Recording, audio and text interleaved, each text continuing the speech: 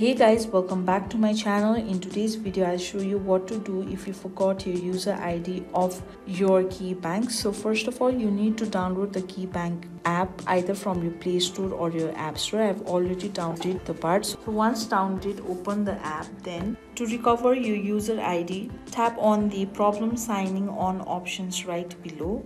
Then once this pop-up appears tap on the forgot my user id option. So to retrieve online banking user id KeyBank wants to verify your identity. So if you have forgotten the user id of your personal account tap on this option personal accounts. If you have forgotten the user id of your business account then tap on this account. So i'll show you both of this. So if you tap the personal account option you just need to enter your social security number and then tap on the continue option and follow the instructions as provided and follow the instructions as given so if you have forgotten the user id of your business account then tap on the business account option. Then you need to enter your social security number and your tin number. If your business tax id number and your social security number are the same then you need to tap on this option like this and then tap on continue. So you just need to follow the instructions provided by the bank. So that's how you can recover your user id of your key bank account. So this much for today